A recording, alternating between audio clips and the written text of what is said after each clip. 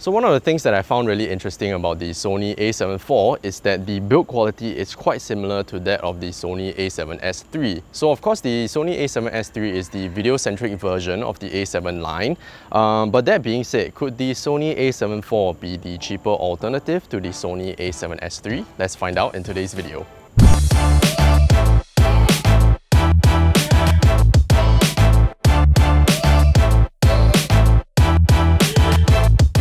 How's it going guys? Welcome back to another Tech 360 video. Um, today we are taking a look at the Sony a7 IV. Um, so yes, the Sony a7 IV is a hybrid camera, so it can do videos and photos relatively well. So I've had this camera for about close to three weeks now, and I even shot a car commercial with it a couple of days ago, doing both photos and videos. So I would say like I have quite a comprehensive testing period with the camera. So I had friends asking me if the Sony a7 IV is actually a cheaper alternative to the a7S III. That being said, uh, the reason for that is because the camera itself can do quite a bit of uh, different function in comparison to the a7 III, which is its predecessor. Today we'll be going through some tests to see if this really stands up and how can it be compared to the a7R4 and the a7S III. So without further ado, let's talk a little bit about the design aspects of the a7 IV. In terms of design, the Sony a7 IV is quite similar to that of the a7S III and Alpha 1. Uh, and what I mean by that is that the body itself is very similar. Too bad I don't have a a7S III or an A1 to show you guys, but in comparison to its predecessor, the a7 III, the hand grip is actually a lot beefier now. And in my opinion, I actually prefer this grip um, because my hands are, I would say, like relatively larger than average, uh, but it fits really nicely in my hands. So talking about the body, it is made out of magnesium alloy and in terms of weight, it will weigh 658 grams with one battery and the SD cards as well as the CF Express together with it. But Comparing it to the a7 III and the a7 IV, there are quite a number of differences when we are comparing and looking at these cameras uh, separately. So first and foremost, the sensor size is 33 megapixels, so the a7 III was 24 I believe, and you have a fully articulating screen now, which is also touchscreen, which is really nice. Um, in terms of the buttons, there has been quite a number of changes in terms of the layout of the button. So the record button is now slightly above, closer to the shutter button than before. And where the exposure compensation dial used to be, it is now a uh, what Sony calls it an R dial, which you can customize it to um, change different settings within your camera, which is quite handy because to be honest, I've so far in my career, I've never used the exposure compensation dial before, so I like now that I can actually change it to something else. Um, let's see what else. So in terms of uh, ports, this is also another thing that's different from the a7 IV and the A73. Before you had a micro HDMI port, but now you have a full-size HDMI, which is really nice. Um, and in terms of card slot, you'll still be having dual SD card slots, so UHS 2 for both, uh, with the inclusion of a CF Express Type A with uh, slot 1. So you only have one slot for a CF Express Type A. In terms of battery, similar to that of a A7 III, so it is a NP-FZ100 battery. So in terms of battery life, almost similar to the A7 III.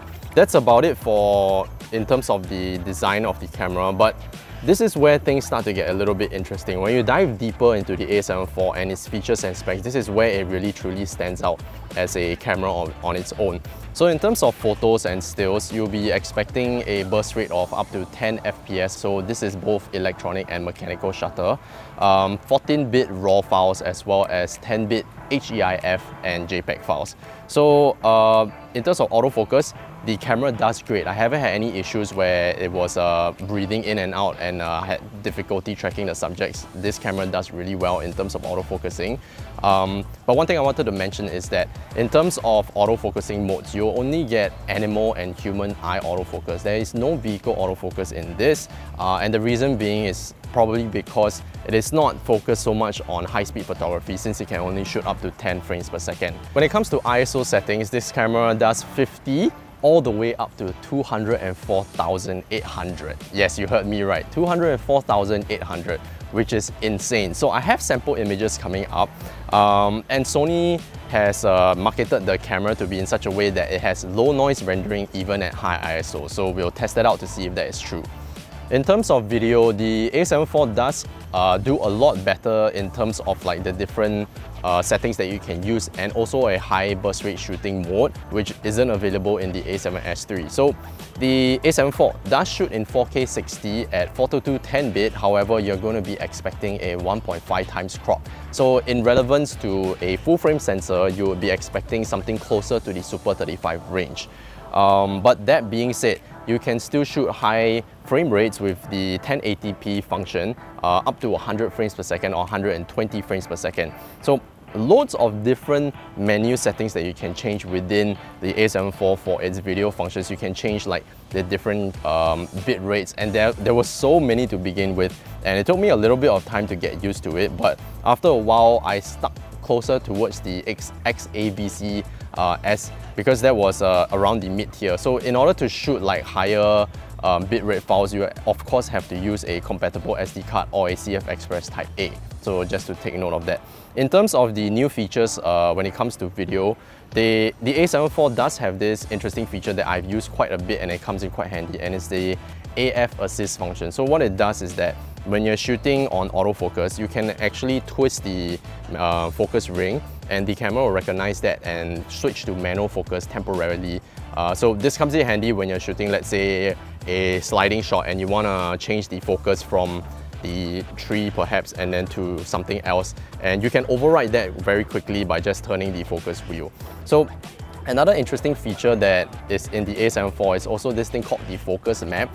And what it does is basically, it shows you on your screen what is focus and out of focus through colored squares. It's, it's some new feature that I haven't actually seen before, um, but to be honest, I didn't really find it handy, but it might be handy to you.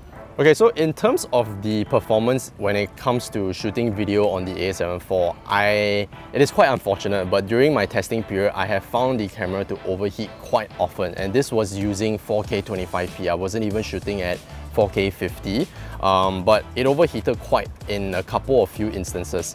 So what I mean by that was uh, I was shooting it in air-conditioned rooms and different ambient temperatures. In the beginning, I thought it was probably because I was shooting outdoors and it was in the heat, but when I brought it into an, an air-conditioned room and still continued trying to shoot at 4K 25, I still received that overheating warning. So there is a setting within the menu system that you can choose and it is the auto power off temperature. So you can either choose to select it on standard or high and uh, for my case I was shooting it on standard and it overheated but I have had instances when I set it on high and it was still exactly the same result. So in terms of how fast it overheats, so shooting at 4K 25 uh, we were expecting about 10 to 15 minutes and then I started to get that warning. So you can turn off the camera and turn it back on and you still be able to continue shooting. However, uh, after a few minutes, you'll still receive the warning, which made me want to rely more on the 1080p function instead of the 4K for the A7 IV. So in the beginning of the video, I did mention that the Sony a7 IV has low noise rendering even at high ISO. So this camera does really well in uh, high ISO settings, I presume. So I actually took it to the test. So if you guys are familiar with the other reviews, I usually go down to this little alley where I shoot the ISO settings. So we are here once again, and I took these photos last night. So um, I would say all the way up to ISO 25600, noise comes off as green and it's still usable, the colors aren't too fuzzy, but things start to get a little bit murky when we are looking onwards of 51200. And after that, everything is just unusable. So we, I tested it all the way up to 102,400 and things were just totally like, the colors were very murky, the noise was just uh, too much. So I would say if you're shooting anywhere below 25,600, the photos are still usable. When it comes to video though, the ISO reacts slightly differently and what I mean by that is it depends on the color profiles that you're shooting in. So I tested it when uh, I was shooting on a standard color profile and using it at probably like 6400 ISO. The grain and noise comes off a little bit subtly, it's not too much, but when I'm shooting it in S-Log and because it's a flat color profile, after I push it through quite an intense grading session. You can see the noise coming out very visibly and it, it doesn't just come off as grain, it comes off as like really fuzzy um, colors, color fringing. And I'll show you a sample uh, video where that happened, but just take note of that when it comes to video. But other than that, I would say the ISO, uh, even pushing it with this camera, it does really well in both photos and videos.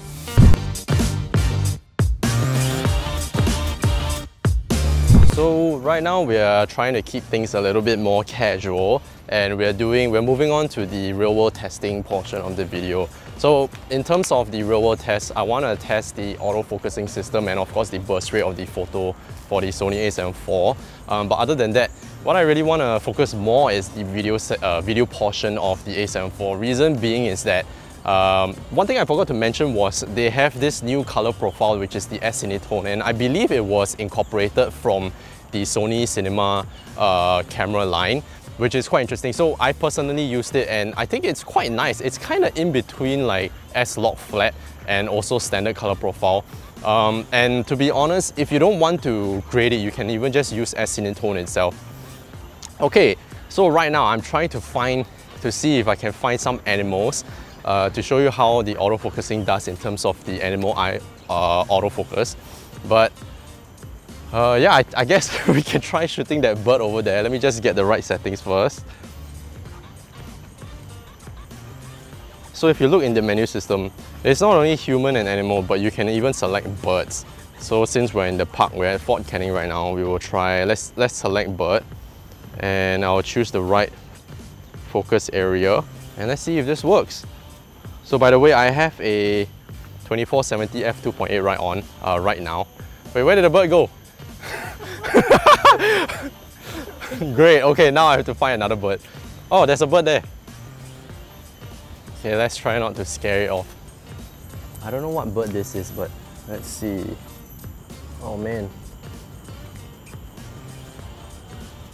This is tough. Oh wow. Okay, so the camera actually locked on to and recognized that it was a bird and locked on to its eye even though there's a lot of foliage in between. And to be honest, the bird wasn't even that big in the frame. So I'm quite impressed by that. Yeah, just know that this is actually the first time that I'm testing the uh, animal and bird eye autofocus in particular. But yeah, the bird is really quite deep in there. Let's see if I can get another shot. Where'd he go? okay, but I did get it so I guess I'll just settle for that, otherwise the video will be too long of me chasing birds. So safe to say, the animal and bird autofocus actually works and it works quite accurately to be honest. But I did find some trouble when there was a lot of foliage in between, but understandably because uh, there's, there's just a lot of things going on. But even then, it was quite impressive to see that uh, even though the bird was really small in the frame, the camera still actually managed to catch on to the bird and recognize where, the, where its eye was. So for this test, I want to show you guys how much crop factor you'll be expecting when you're shooting 4K uh, 50 or 4K 60 as compared to 4K 25. So the exact settings that I'm using right now is uh, XAVCS in 4K and uh, I'm shooting on a standard color profile, so 422 10 bit. So let's roll the first segment. Okay, so that's done. And then I'll move on within the menu system to change from 25p to 50p. And just take note that I didn't change any settings at all, just the, uh, the resolution of the video image, the video file. Um, and this is the exact crop that you'll be getting. So one thing that I found particularly useful or you would say not as useful is that even though the a7 IV cannot shoot 4K 60 or 4K 50 full frame, but if you use a wide enough lens, you will still be able to capture a relatively wide image. And even though in the uh, Super 35 frame, you're still getting the full pixel readout. So it'll still be exactly 4K in the uh, frame that you're shooting. So that's a relief. So one thing that I wanted to mention that is different from the a7 III to the a7 IV is this, um, this dial right here. So you can switch between the stills, video and S&Q right all within uh, a finger's click. So before you had to go into the menu system, but everything now is just so quick and easy to switch. So we just concluded the shot for the 100 frames per second uh, in 1080 on the a7 IV. So one thing that I wanted to point out is that the, when you're shooting at 100p, you're only going to get 420 and 8-bit. So there is no setting that you can choose 422 at 10-bit. Um, but, well, I guess um, looking off the screen right now, it still looks pretty clean to me but we'll have to definitely go back home and look through the footage on a bigger screen to tell if there's really any difference from an 8-bit and 10-bit footage. but still definitely usable and hopefully really silky smooth. Okay, so in terms of color profiles, there's quite a number of color profiles that you can choose from uh, from the standard S-Log 2, S-Log 3. And what I really want to test here is the S-Cinetone in comparison to S-Log and of course the standard uh, color profile. I framed this shot up really nicely right and it's quite nice because there's some sunlight coming in, there's enough uh, darks and shadows to test out the dynamic range between the color profile. So I'm just gonna go right ahead to roll the first shot. And for the first shot, I'm shooting at 4K 25p. So we'll do all 4K 25p at uh, 422 10-bit. So the first one will be the standard color profile and then we will jump straight into the S-Cinetone and S-Log 2 and then 3. Alright, so reviewing the footage now, the standard color profile is just a reference for you guys to see uh, what it looks like when it's standard. And then we move on to the S-Log 2. So this is a lot flatter as compared to the standard color profile. The highlights are really, really crushed. Uh, not, not crushed, they're really flat, as well as the black, so you retain a lot of details in it. So uh, in film terms, there's more dynamic range in the shot. And when we move on to S-Log 3, it is even flatter than S-Log 2. So not much of a difference in terms of flatness, one is just more flat than the other, but the interesting thing to, that we want to review is the S-Cinetone. And I would say like the S-Cinetone is somewhere in between uh, S-Log 2 and the standard color profile, but it's closer towards the standard. So it's slightly a little bit more flat, um, but still nice enough and it gives you enough dynamic range if you prefer to do your color grading in post and uh, you can still be able to retain like to catch back those highlights that might be lost when you're shooting on a standard color profile.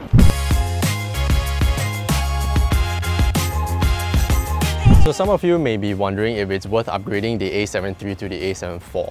Um, talking about price alone, the A7 IV costs $3,599 and we're talking only body alone. So if you're comparing it to the price of the A7 III now, it costs $700 more. If you're looking at it from a standpoint of a performance and specs uh, comparison, I would say that the A7 IV does outperform the A7 III in every regard in terms of uh, megapixel readout as well as the capability to shoot at different frame rates for 4K and even high speed 1080p. So if you ask me about my opinion, I feel that $700 is definitely worth uh, the upgrade.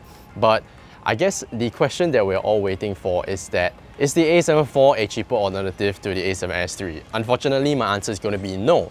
The reason for that is because even at 4K 25p, the camera overheats and it overheats quite quickly. So the bare minimum that I'm looking for for a camera that can shoot 4K is obviously 4K 25 and we're not even talking about 4K 50, 4K 60 or even 4K 100. So overheating is a deal breaker for me unfortunately and Definitely, if you're looking for more of a photo-centric camera, look towards the A7R4 and if you're looking for a camera that can do video really well, the A7S III. In terms of prices, the A7R4 is 4,999 for the body only. A7S III on the other hand is 4,899. So it is quite unfair to compare the A7 IV obviously to the A7R4 or the A7S III because it is a camera on its own. It is supposed to be a hybrid camera that can do both photos and videos relatively well. So in terms of uh, professional use, I would have to say the A7 IV is definitely able to um, produce professional results when it comes to photos and videos and I used it for a commercial shoot for a car a couple days ago and the footage comes, came out really, really well. So I would say that the camera no doubt can be used professionally. If, if you're looking to come into uh, to pick this camera up as a hobbyist or as a beginner, I would say for the price tag, it fits around it fits around the mid-tier region. So uh, if you have like 3,599 lying around, the camera is definitely great for you to start out. If not, I would recommend probably looking towards the A7C or even the A7 III. So I hope you guys enjoyed this video so far and uh, I hope the information that I provided you about the Sony a7 IV will better inform you if you should pick up this camera or any of the Sony Alpha cameras out there. So if you're looking for a hybrid camera that can do photo and video, um, and video primarily in 1080p, I would say the camera, the Sony a7 IV is more than capable of uh, helping you achieve your video needs. But uh, as usual, definitely check out all our social platforms and follow us on TikTok, on Facebook, Instagram, and YouTube. And uh, if you like my content, you can, you can also check me out on YouTube and Instagram at Ryan Mamba. And as usual, I hope you guys enjoy this Ryan Mamba's perspective and I'll see you guys in the next one.